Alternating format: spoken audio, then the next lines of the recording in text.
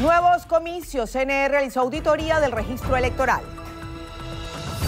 Sin fracturas, Antonio Ecarri insta a dirigentes políticos a replantear la unidad. Modelo alternativo. Elías Agua exhortó a seguir construyendo una economía diversificada.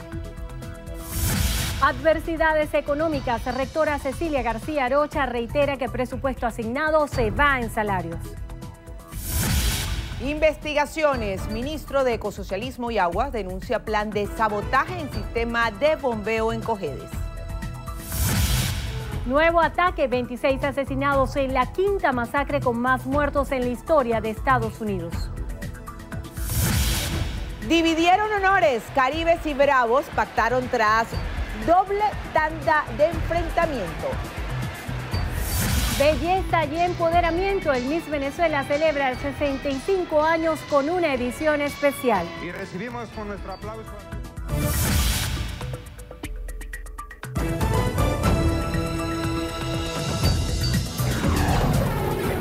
Noticiero Venevisión. Información justa y balanceada. Hola, ¿qué tal amigos? Bienvenidos a la emisión meridiana de su noticiero Venevisión. Muy buenas tardes Venezuela, gracias por acompañarnos en la presente emisión. Feliz inicio de semana. Les saludamos en nombre de todo el equipo de Noticiero Venevisión, Milagro Zambrano y esta servidora Endrina Yepes. Comenzamos con las informaciones de inmediato. El Consejo Nacional Electoral realizó la auditoría del registro electoral establecido para las elecciones municipales y comicios a gobernador del estado Zulia. Procesos convocados para el 10 de diciembre. Manuel Covela está en las oficinas del CNE y desde allí nos presenta los detalles. Adelante, Manuel, muy buenas tardes. Sí, buenas tardes. De inmediato vamos a presentarle declaraciones de Amelia Alter. Ella es directora de la Oficina Nacional del Registro Electoral, quien va a dar detalles sobre la auditoría que se le practicó al padrón de electores para las elecciones municipales del 10 de diciembre para auditar el registro electoral que se utilizará para las elecciones municipales del 10 de diciembre del 2017. Para esta actividad contamos con la presencia de nueve organizaciones con fines políticos. Con ellos estamos auditando este registro que consta de eh, un total de 19.740.846 electores. Asimismo, estamos auditando el padrón electoral para las elecciones de gobernador y gobernadora del estado Zulia, que sabemos que serán repetidas, y para estas contamos con un padrón electoral de 2.452.000 432 electores. Con esta auditoría iniciamos la fase de revisiones que se realizan al sistema automatizado de votación para cada evento comicial. Estamos utilizando el mismo corte de registro electoral que para las elecciones regionales, que tiene como fecha 15 de julio del 2017.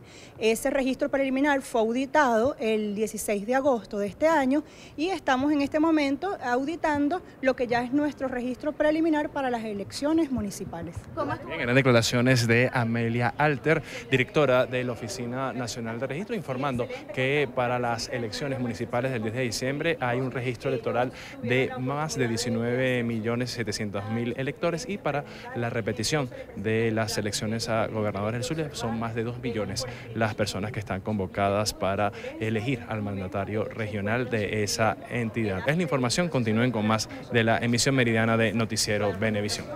Gracias, Manuel. El presidente del Partido Alianza del Lápiz, Antonio Ecarri, aseveró que la oposición no debe seguir fracturando. Instó a los dirigentes a replantear la unidad. Hoy estamos todos los dirigentes obligados a replantearnos la unidad y crear un sólido y nuevo bloque donde no es que hayan más importantes y menos importantes, sino que haya mucho, que todos los sectores del país nos sentamos involucrados allí, porque hoy lo que está en jaque es Venezuela. Venezuela está dejando de ser un país viable. Y eso es gravísimo. Esa crisis de liderazgo que te, he que te he estado planteando del inicio del programa, tenemos que ponerle fin. Y la única manera no es esperar un Mesías, no es esperar un nuevo caudillo, sino darle conducción a Venezuela en medio de esta crisis. Ecarri además aseguró que el gobierno no dará facilidades electorales. Es de ilusos pensar que el gobierno va a mejorar las condiciones electorales desde uno sentado desde un sofá. Eso es imposible. Las condiciones electorales hay que exigirlas y seguirlas exigiendo. Entonces, tenemos que estar claros que siempre vamos a tener dificultades allí, pero la mejor manera de combatir y de conseguir esas condiciones es participando. Agregó que la Alianza del Lápiz es el único partido con gestión social en el país. Carri afirmó que existen siete casas del lápiz en Caracas graduando emprendedores. Elías Jagua, vicepresidente para el Desarrollo Social y Revolución de Misiones, exhortó a los países socialistas a seguir luchando por la construcción de una economía diversificada que garantice la dignidad, libertad, justicia e igualdad social. Esto lo dijo en Moscú durante su intervención en el Foro Internacional de Fuerzas Izquierdistas a propósito de la conmemoración de los 100 años de la Revolución Rusa.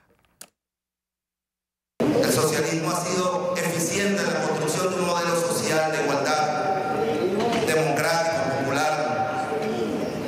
Ha demostrado que es posible en lo económico construir formas de propiedad no capitalista, formas de relación de producción no capitalista. Nos toca a los socialistas del mundo seguir perseverando frente a un capitalismo globalizado más agresivo, más invasivo, más racista, más clasista, más excluyente. Nos, nos toca a nosotros y a nosotras seguir luchando por la alborada de un mundo nuevo, donde todos los seres humanos podamos vivir con auténtica libertad, igualdad, justicia y dignidad. Una sociedad auténticamente humana. Jagua viajó a Rusia acompañado por Adán Chávez, presidente de la Comisión de Relaciones Internacionales de la Asamblea Nacional Constituyente. A través de su cuenta en Twitter, Jagua informó que recibieron la medalla de los 100 años de la Revolución Rusa de manos del secretario del Partido Comunista del país euroasiático, Gennady Zyuganov indicó que en el encuentro Zyuganov se acordó de la consolidación de las relaciones políticas entre el Partido Comunista de Rusia y el Partido Socialista Unido de Venezuela.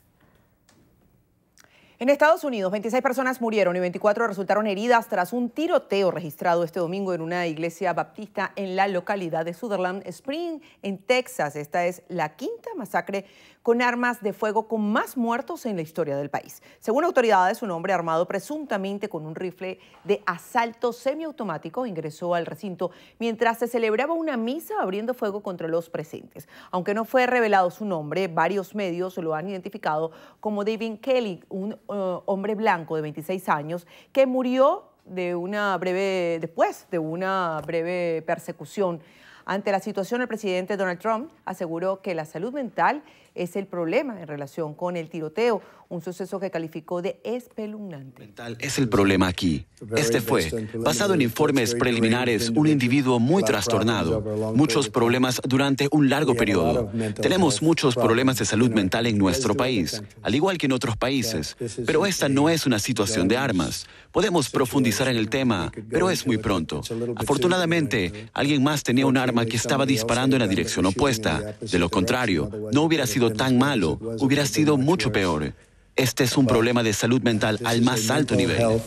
Se conoció que las edades de las víctimas oscilaban entre los 5 y 72 años de edad, siendo una de las fallecidas Anabel Pomeroy, la hija de 14 años del pastor de la iglesia.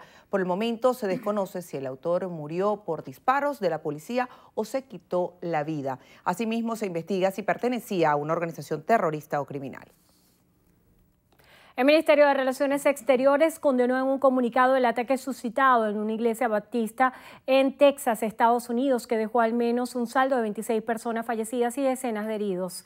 En el documento, la Cancillería venezolana expresa su más profunda solidaridad con todas las víctimas y los familiares del hecho, al tiempo que rechaza enérgicamente ese y cualquier otro hecho de violencia cuyo propósito sea el de causar terror en la población. Abogan a que el pueblo estadounidense logre sobreponerse a este lamentable hecho.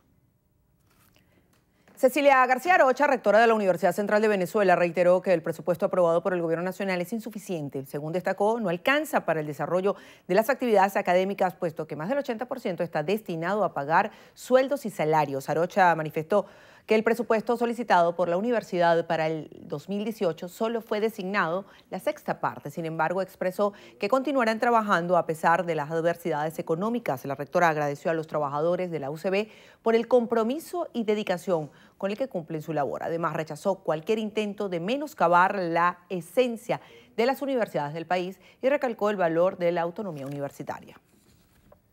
La reina Isabel II, el presidente de Colombia Juan Manuel Santos, los cantantes Bono y Madonna son algunos de los 127 líderes internacionales y personalidades vinculados a sociedades en paraísos fiscales, según una investigación periodística difundida este domingo simultáneamente en varios medios de comunicación denominada Los Papeles del Paraíso.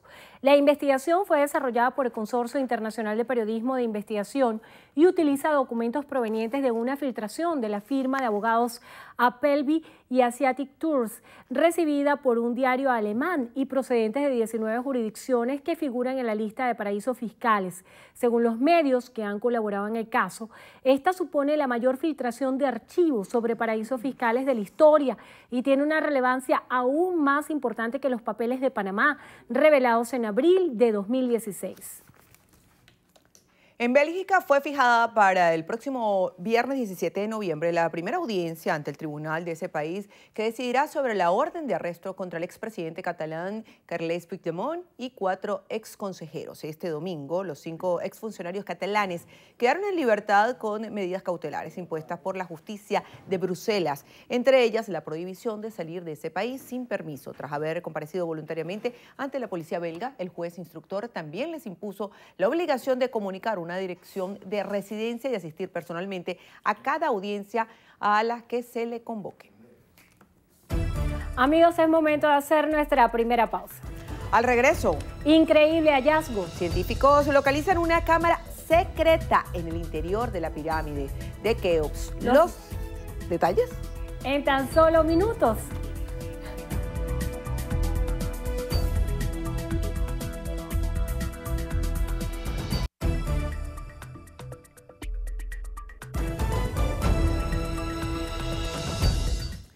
El constituyente Jesús Faría reiteró que la Comisión de Economía Diversificada y Productiva de la Asamblea Nacional Constituyente está diseñando un programa económico para contrarrestar lo que denominó una especulación galopante. Faría aseguró que hay que incrementar la producción y resaltó que los precios deben combatirse con un control flexible de los precios, políticas macroeconómicas coherentes, distribución eficiente de los productos y el estímulo a la producción. También afirmó que el país deberá ir a un proceso de industrialización y acusó a Fede Cámaras y con Industria, ya que a su juicio estos organismos están divorciados de las grandes necesidades del país. El primer vicepresidente de Fede Cámaras, Ricardo Cusano, aseguró que para mejorar la calidad de vida de sus trabajadores, la empresa privada está buscando alternativas para brindar ayudas directas a sus empleados. Cusano señaló que la falta de productos provoca mayor escasez y que no se ha agudizado más porque el poder adquisitivo de la moneda es cada vez menor y la gente tiene menor capacidad de compra. A su juicio, el deber ser es que la empresa privada debería estar generando más productos, más servicios en un marco de políticas públicas que la competitividad para que sea el consumidor quien decida qué comprar. El ministro de Ecosocialismo y Aguas, Ramón Velázquez, denunció un presunto plan de sabotaje en el sistema de bombeo de aguas en el estado Cojedes. Velázquez informó que en un incendio dentro del sistema de bombeo ha impedido restablecer el servicio de aguas en el eje oriental de Carabobo, Guacara, Maracay y el Consejo, así como la Victoria. Ya nosotros estamos investigando porque una estación de bombeo que se encontraba funcionando eh, sin novedad o cuando se va a activar para darle el servicio de agua a la colectividad se presenta un incendio un incendio de esta naturaleza. Ya hemos estado en comunicación con el vicepresidente ejecutivo, el vicepresidente sectorial, nuestro presidente ahora Nicolás Maduro ha girado instrucciones para que se tomen inmediatamente las acciones de tal manera solventar esta problemática que estaría afectando a tanto al estado Carabobo como al estado Aragua. Informó que este lunes en la madrugada culminaron los trabajos de reparación de fuga en el sistema regional del Centro 2. El comisario, el comisario, Douglas Rico, director del CICPC, señaló que dos sujetos fueron detenidos por el asesinato de los dos escoltas de directivos de una reconocida empresa de venta de alimentos al mayor, ocurrido en el mes de abril. Diana Martínez nos informa. Sí, muy buenas tardes, gracias por el contacto. Efectivamente, el comisario Douglas Rico señaló que con la detención de estos dos sujetos involucrados en el asesinato de dos escoltas del presidente de un reconocido establecimiento de distribución de alimentos, se desarticula parcialmente una banda que utilizaba el choque de vehículos como modus operandi para el secuestro. El esclarecimiento del homicidio de los ciudadanos Tony García Manzanillas, de 42 años de edad, y David Castillo Méndez, de 34 años de edad. Por este hecho tenemos detenido al ciudadano Rubén Flores Moreno. Esta persona se encuentra ya detenida, a quien se le incauta un arma de fuego calibre 9 milímetros, propiedad de uno de los escoltas. Asimismo tenemos dos personas requeridas y un cuarto sujeto que resultó fallecido durante un operativo con el CICPC relacionada con otros hechos. Por este hecho, una de las personas que se encuentra requerida tiene 18 solicitudes por delitos violentos y otra por tres, solicitudes igualmente por delitos violentos. Estos sujetos utilizaban como modo operandi chocar los vehículos cuando la persona se bajaba a reclamar, era sometida y llevada hasta lugares donde procedían a cobrarle un dinero por su rescate, igualmente por el vehículo. Asimismo, el comisario Douglas Rico señaló que al menos 14 personas provenientes del Estado Vargas han sido detenidas por la comercialización de más de 600 toneladas de material estratégico que sería trasladado hacia Aruba y Colombia. Esta información será ampliada en la emisión estelar de su noticiero Venevisión. Continuamos con ustedes. Gracias, Diana. Este lunes reactivaron las operaciones de búsqueda de los cuerpos de los dos montañistas que fallecieron en la cara norte del Pico de Bolívar del estado Mérida, uno de los sectores más complicados de esta montaña. Manuel Paredes Carrizo, director de Protección Civil en Mérida, informó que los cadáveres de Jesús María Sánchez García, de 63 años, y de Yusmaira Trejo Rivas, de 22 años, de edad fueron avistados en la chimenea de la cara norte del Pico Bolívar, de donde se presumen resbalaron y cayeron a una profundidad de la que no pudieron salvarse. Al menos 60 personas, integrantes del Cuerpo de Bomberos y Protección Civil de Mérida, así como imparques y grupos de voluntarios, conforman el equipo de rescate. Jesús Sánchez García era habitante de San Rafael de Tabay, municipio Santos Marquina, y la joven Yusmaira Trejo Rivas procedía de Mucurubá, municipio Rangel del estado Mérida, y era bombero voluntario del Cuerpo de Bomberos de la Universidad de los Andes. Al menos 11 personas murieron y otras 20 resultaron heridas luego de que dos unidades de transporte colisionaran este domingo en el sector La Guama del municipio Tinaco, en Cojedes. A través del Twitter, el Ministerio de Relaciones Interiores, Justicia y Paz informó sobre el accidente. De acuerdo con las autoridades, los vehículos involucrados fueron dos bucetas marca Encaba, pertenecientes a las líneas de transporte Unión Tamanaco y Unión Táchira. En el suceso, nueve pasajeros murieron de forma inmediata, mientras que otros dos fallecieron tras ser ingresados en el hospital Dr. Egor Nucete de San Carlos. Los heridos fueron trasladados a los hospitales de Tinaco y San Carlos por comisiones de Cuerpo de Bombero y Protección Civil.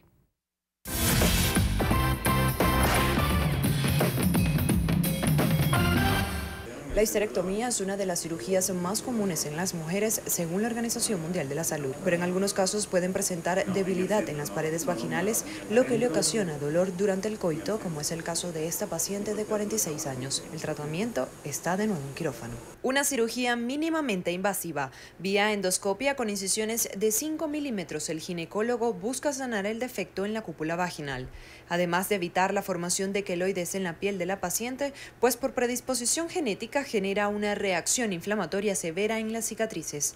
Las causas de la debilidad solo se pueden confirmar durante la cirugía. Ok, ya encontramos el defecto, ya sabemos que no es eh, un problema de idiosincrasia de la paciente, de problemas del colágeno o un problema nutricional de la paciente. En el caso de ella es una endometriosis. La endometriosis es el crecimiento de tejido endometrial fuera de la cavidad uterina. Este tejido sigue reaccionando a los cambios hormonales de cada ciclo menstrual provocando hinchazón y sangrado interno. La histerectomía no garantiza la cura de esta enfermedad. Como pudimos ver, los especialistas encontraron implantes de sangre coagulada a pesar de que la paciente ya fue histerectomizada. La paciente sangró con la endometriosis y se, se debilitó la pared. Entonces se observa el debilitamiento de la eh, vagina y es una herniación. Y lo que se hace es hacerle una sutura, pero ya vimos que en toda la zona de sutura hay endometriosis. Sin embargo, lo que estadísticamente eh, ocurre normalmente es que vuelve, puede volver a salir otra vez. Entonces eh, estoy pensando, después que limpiemos todo, si le vamos a quitar uno de los ovarios o los ovarios para que mejore su cuadro clínico y no se repita otra vez. Para evitar la reproducción de implantes en pacientes con esta patología se recomienda retirar los ovarios, sin embargo es una práctica quirúrgica que se pospone, ya que puede causar menopausia prematura en mujeres jóvenes. Es importante resaltar que una de cada mil mujeres puede presentar este tipo de complicación en la cúpula vaginal después de una histerectomía, según el especialista. Soy Joyce Adrián y será hasta una próxima entrega de Vida y Salud.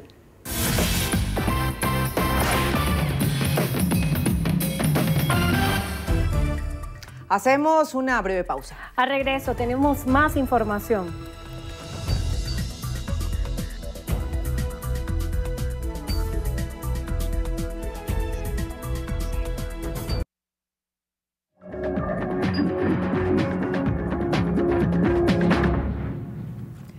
Iniciamos el recorrido por las notas internacionales en lo que pasa en el mundo y lo hacemos en Nicaragua.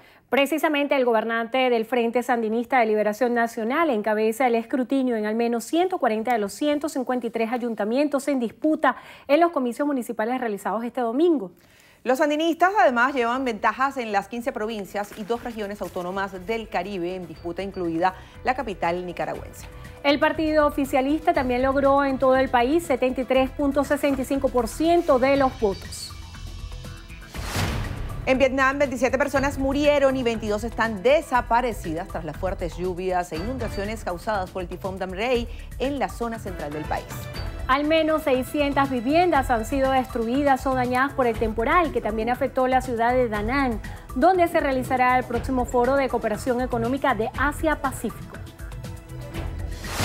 En Egipto, un grupo internacional de científicos descubrió una nueva estructura en el interior de la Gran Pirámide de Keops. Se trataría de una cámara vacía de unos 30 metros de largo y de uso desconocido. Para su localización fue utilizada la física de partículas, una técnica no invasiva que permite escanear la pirámide pese al grosor de sus rocas. El hallazgo podría ayudar a explicar cómo se levantó este monumento. En breve venimos con más información. Ya venimos. No se retiren, volvemos.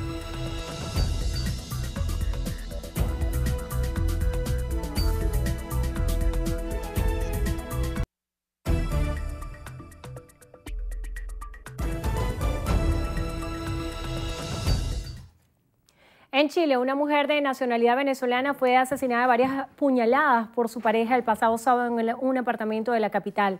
El hombre, también venezolano, intentó suicidarse, quedando gravemente herido. Catalina Miranda, de nuestro canal aliado Mega, nos presenta el informe. Sin signos vitales fue encontrada Sustias Mejías, la mujer venezolana de tan solo 26 años, asesinada en manos de su pareja. Trece puñaladas bastaron para que ella fuera parte de la larga lista de femicidios en lo que va del año. Mejías es el caso número 35. Bueno, estos hechos eh, acontecen, digamos, pasados las 21 horas, donde eh, mediante, digamos, eh, eh, información de pedidas de auxilio, de diversos gritos que se, se, suscitaron, digamos, en ese momento. Se requiere personal de carabineros y eh, se trataría de eh, un contexto, digamos, de violencia intrafamiliar. Gritó desde su balcón y rogó la ayuda de sus vecinos. El tiempo no fue el mejor aliado, ya que el brutal ataque de su pareja le quitó la vida en cosa de minutos. Carlos Varela Rodríguez era la pareja de Mejías hace dos años. Conocidos comentan que poseía unos celos enfermizos y que incluso no le permitía salir a su pareja. La mujer trabajaba en nuestro país para enviarle dinero a su hijo de siete años que vive en Venezuela. Bueno, se logró constatar que la mujer mantenía 13 puñaladas en distintas partes del cuerpo y así también el hombre mantenía una en la zona torácica. De igual forma, ambos eh, mantienen situación irregular migratoria debido a que ingresaron el 15 de junio a nuestro país. El autor del femicidio, al darse cuenta del hecho, intentó quitarse la vida con una puñalada a la altura del tórax, herida que lo mantiene grave en la posta central. Eh, él decía que habían tenido como un altercado que al final desató todo este problema. La ministra de la Mujer y la Equidad de Género, a través de un comunicado, señaló que esta muerte no quedará impune.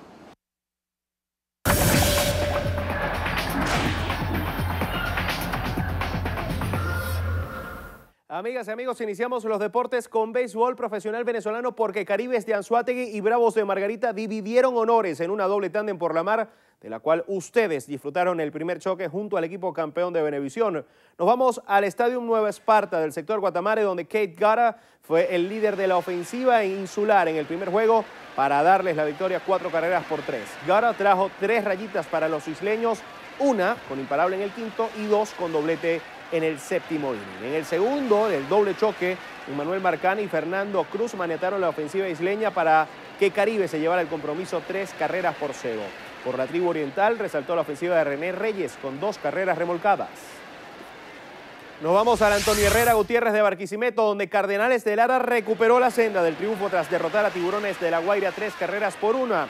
Los crepusculares se apoyaron en Raúl Rivero desde la Lomita, quien trabajó seis entradas completas sin permitir carreras para concretar su segunda victoria de la campaña. Tommy Collier fue el pitcher perdedor, mientras que Ryan Kelly consiguió su sexto rescate de la temporada. En el estadio de la ciudad universitaria, Leones del Caracas se apoyó en una ofensiva de 11 imparables para derrotar a Águilas del Zulia seis carreras por dos. Albert Suárez sumó su primer lauro de la campaña, mientras que Edgar de la Rosa cargó con el revés.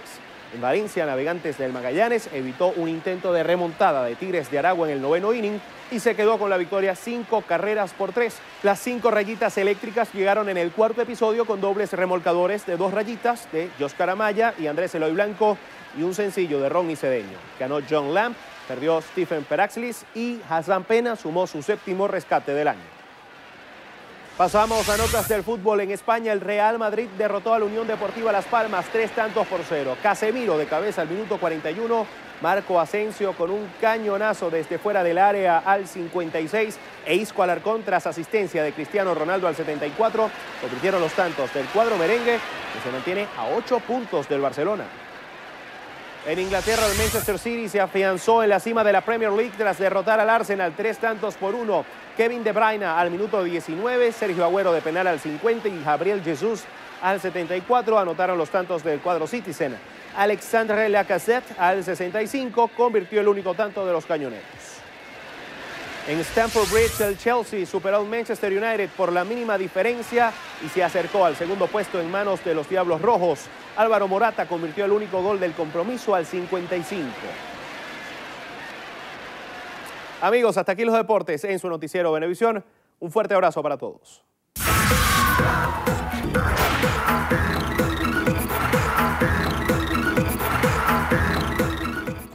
Hola, ¿qué tal amigos? Soy Carilis Cuadros y esto es Estrenos y Estrellas. Iniciamos las noticias del mundo del espectáculo con el Miss Venezuela y es que el concurso más importante de nuestro país celebrará en esta edición su 65 aniversario. El empoderamiento de la mujer ha sido uno de los objetivos fundamentales que ha posicionado a la organización Miss Venezuela como una de las empresas más exitosas del país, al lograr que tanto las ganadoras así como las participantes del concurso sean referencia nacional e internacional y destaquen como actrices, animadoras, modelos, empresarias, motivadoras, en fin, mujeres que se han convertido a lo largo de 65 años en el gran orgullo Miss Venezuela y que será celebrado el próximo 9 de noviembre. Como de celebrar se trata, habrá una producción musical dedicada a los 65 años de historia, donde Mirla Castellanos será protagonista ya que es una de las cantantes venezolanas con mayor presentación en ediciones de Miss Venezuela, donde también participarán los boys y los animadores de Venevisión, Jordán Mendoza, José Andrés Padrón y Natalia Moretti. Sin duda, una noche inolvidable para rendir tributo a la belleza, el compromiso y la responsabilidad de la mujer venezolana. Así que ya saben, no se lo pueden perder el Miss Venezuela 2017 este jueves 9 de noviembre a partir de las 7 de la noche por aquí, por Venevisión. Seguimos con Julia Roberts, quien aseguró que no tiene miedo a envejecer. La actriz estuvo este fin de semana presentando su nueva película y confesó que a propósito de cumplir 50 años de edad, no tiene miedo de perder su belleza o envejecer. Julia aseguró que para ella lo importante es el momento y cómo se sienta. Está feliz con su familia y disfrutando de sus proyectos y eso es lo que finalmente se refleja en el rostro. Aprovechó también para comentar que en medio de tantos escándalos en Hollywood, la industria necesita sanar y continuar. Y Selena Quintanilla recibió un homenaje en Hollywood. 22 años después, la reina del Tex-Mex recibió una estrella en el Paseo de la Fama de Hollywood en Los Ángeles, California. Eva Longoria dijo unas palabras durante la ceremonia especial y Suzette Quintanilla, hermana de la fallecida artista, fue la encargada de aceptar la estrella en su nombre. Ella recordó que Selena decía que su meta no era vivir siempre, sino crear algo que sí fuera para siempre. Al evento también acudieron familiares y fanáticos.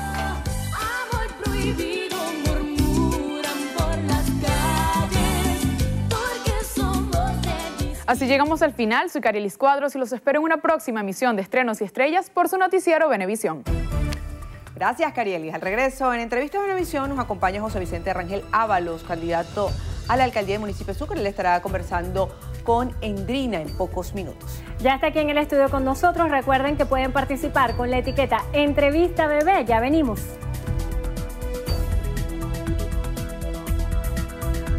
Entrevista Venevisión. Líder en opinión.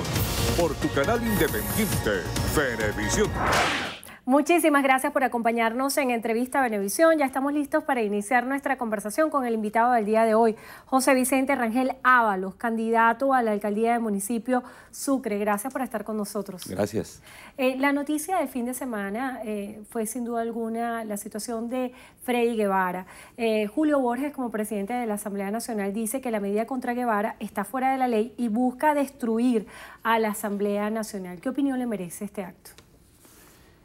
Mira, todos nosotros tenemos que asumir las responsabilidades y más personas como él, hombres públicos, dirigentes de un partido de oposición con cargo importante que tiene en la Asamblea Nacional, él tiene que asumir responsabilidades de por qué llevaba a la gente a unas manifestaciones violentas.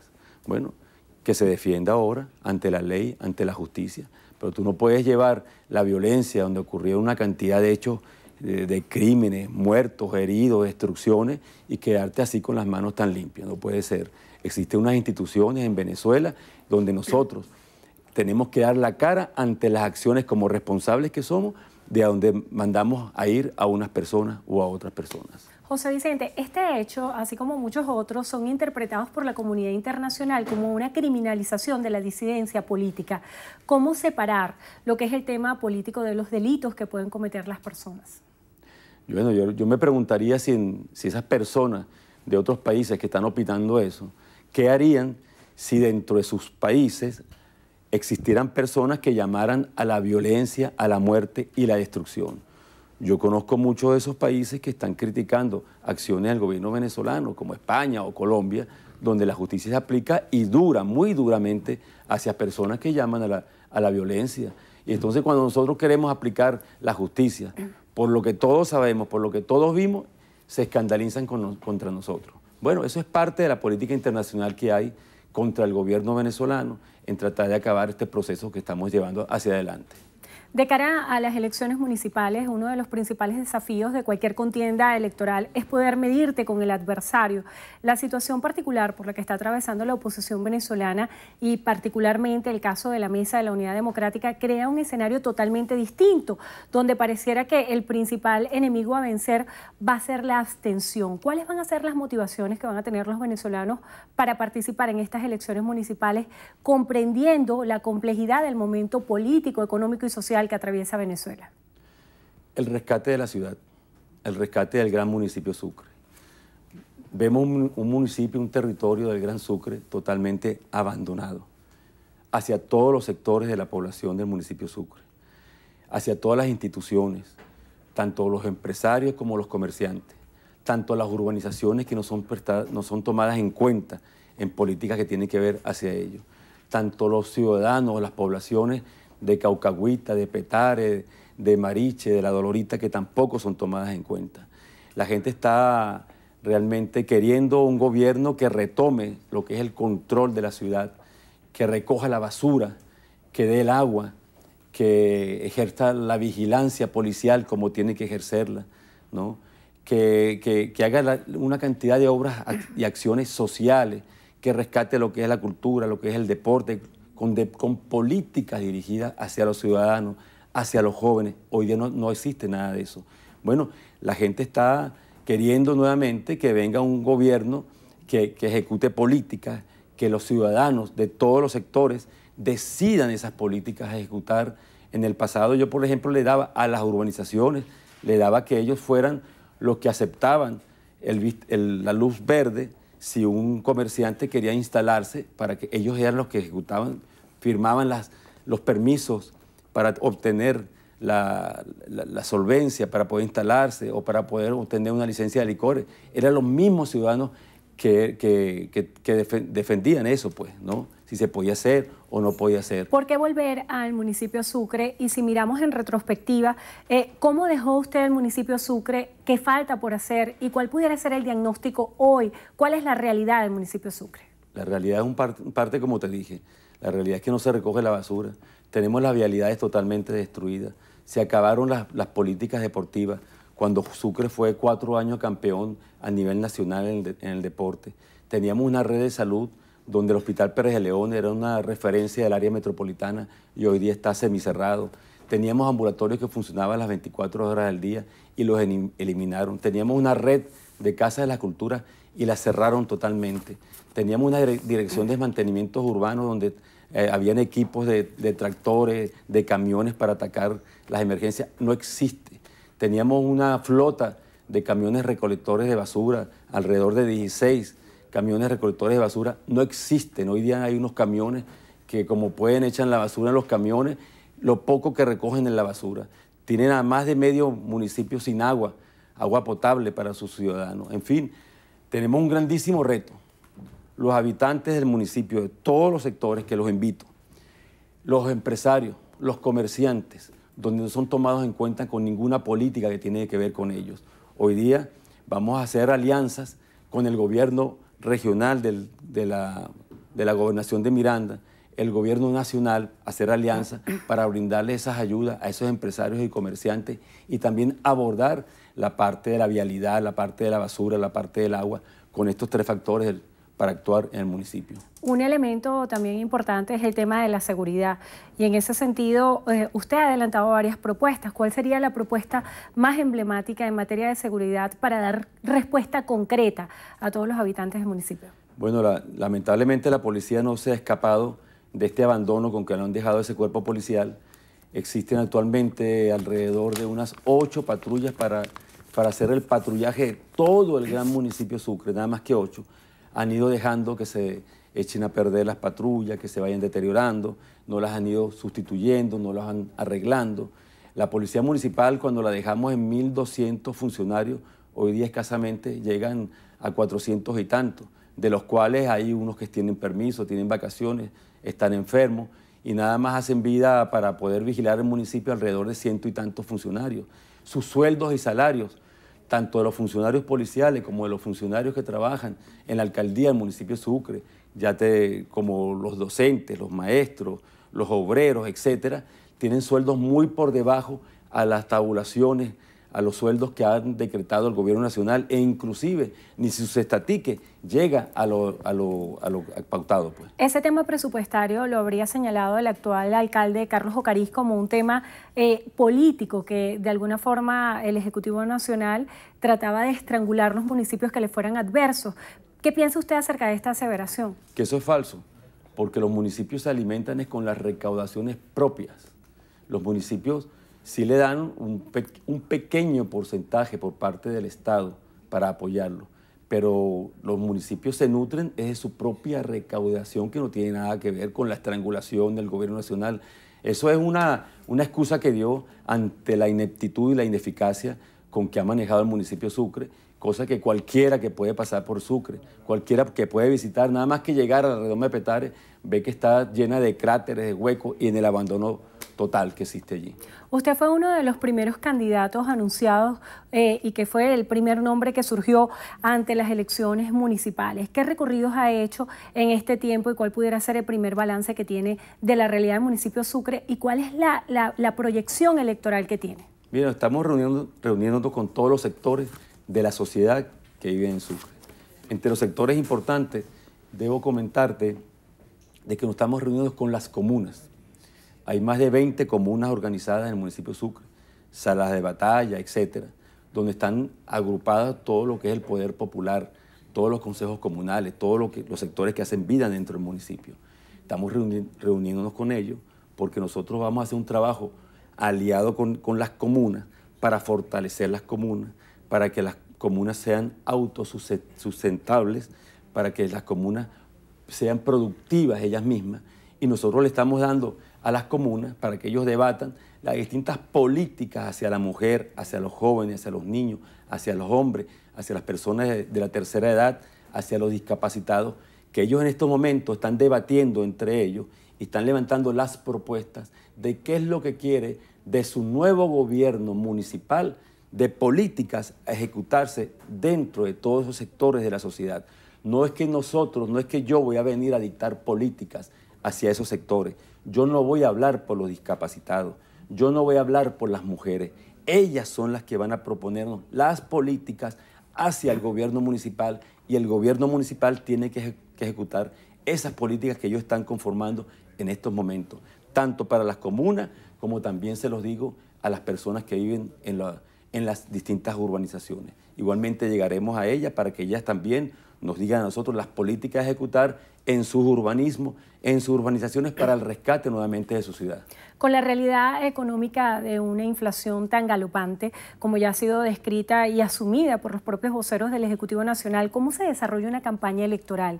¿Cómo se aborda a una persona para que tenga intención de voto cuando tiene otras complejidades dentro del marco de lo que es su cotidianidad? El acceso a los alimentos, la inflación, la falta de liquidez. Mira, entre las cosas porque vamos a hacer un trabajo unido con el gobierno, el nuevo gobierno de la gobernación del Estado Miranda, donde salimos de un gobernador que no hizo nada por el Estado Miranda. Pasó ocho años tratando de ver cómo tumbaba a Chávez y, el resto cómo tumbaba a Maduro. Ahí se le, fue, se le fueron los ocho años de gobierno. Nunca hizo nada hacia el Estado Miranda, ni nunca hizo nada hacia el, municipio de Sucre. Bueno, hoy día ya estamos hablando de unir políticas productivas, políticas que tengan que ver con el desarrollo, trayendo las políticas del gobierno nacional también, para que entre los tres le, traigamos esas nuevas políticas de producción, de desarrollo, de comercialización, de industrialización hacia el municipio Sucre. Y además el ciudadano está, está muy claro en que esto es el gobierno para retomar el gobierno municipal, los problemas de la ciudad por los cuales fueron abandonados. No hay una, como tú comentabas anteriormente, no hay una seguridad por patrullaje de las policías, no se recoge ni la basura ni se le da agua a los vecinos. Bueno, los ciudadanos están buscando la respuesta, la solución a que les le, solucionen los problemas, les mejoren su ciudad, le reparen su vialidad, le den agua, le recojan basura, etc.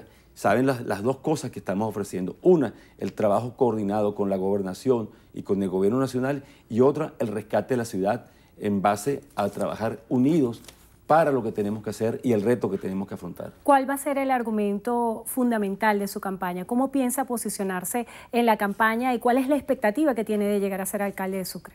Sucre para la gente. Nosotros vamos con estas políticas que yo estoy mencionando. Queremos ir al rescate de la identidad del ciudadano que vive en Sucre. Queremos ir que nuevamente el ciudadano que vive en el Gran Sucre se sienta orgulloso de vivir en el Gran Sucre. Estamos buscando eso. Hoy día el sucrense está golpeado por el abandono, por la desidia del gobierno actual. Nosotros con estas políticas de inclusión, de tomar en cuenta a nuestros vecinos, nosotros vamos a levantar esa autoestima porque todos vamos a poder participar en el gobierno municipal. ¿Cómo levantar el autoestima en este contexto económico? Suena muy complejo. No, pero es que nosotros tenemos esas políticas municipales. Cuando tú tienes al, al ciudadano al lado de la basura, viviendo con la con, las infecciones, con la hediondez, ¿cómo se puede sentir ese ciudadano? Cuando lo tienes abandonado en, todos los aspectos educacionales, cuando no le reparas las escuelas, cuando los niños tienen que ir a las escuelas municipales, se tienen que sentar en ladrillos, cuando no existen políticas deportivas, cuando no existen políticas culturales. Bueno, cuando le daremos nosotros y le brindemos todas esas posibilidades y esas políticas culturales, deportivas, recreacionales, la están haciendo los mismos vecinos de abajo hacia arriba. Ellos son los que van a dictar cuáles son las pautas de las políticas. Ellos, el que vive en la zona 2 de José Félix Rivas o el que vive en Maca, ellos son los que van a dictar sus políticas. No es el que vive en Mariche, ni en Caucagüita, ni en La Dolorita. No, cada quien que vive en sus sectores va a dictar esas políticas. y con eso nosotros sabemos que nosotros vamos a levantar esa autoestima del ciudadano del municipio de Sucre. Muchísimas gracias por estar con nosotros hoy en Entrevista a Benevisión. José Vicente Rangel Ábalos, candidato a la alcaldía del municipio de Sucre. Gracias a ustedes también por habernos acompañado. Que tengan todos buenas tardes. Milagros. Gracias, Endrina. Y antes eh, de concluir la emisión meridiana, tenemos una información, un comunicado del gobierno, porque el gobierno venezolano exigió el cese inmediato de acciones injerencistas contra las instituciones del Estado tras la reciente decisión del Tribunal Supremo de Justicia de levantar la inmunidad parlamentaria del primer vicepresidente de la Asamblea Nacional, Freddy Guevara. A través de un comunicado, destacan que el diputado Freddy Guevara presuntamente es responsable de los hechos violentos ocurridos entre los meses de abril y julio de 2017, por lo que corresponde a los tribunales ordinarios de la República la confirmación o no de esta acusación. Denuncian además una campaña de instigación al desconocimiento de las autoridades por parte de los gobiernos y organizaciones extranjeras que cuestionan la democracia Venezuela y sus instituciones. En la misiva advierten que el objetivo de esta postura es alentar y reactivar la desestabilización y la violencia en el país. Amigos, con esta información, ahora sí concluimos la emisión meridiana de su noticiero Benevisión. Recuerden, noticiero Benevisión, Canal 4 Reporta, ustedes deciden. A todos, muy buenas tardes.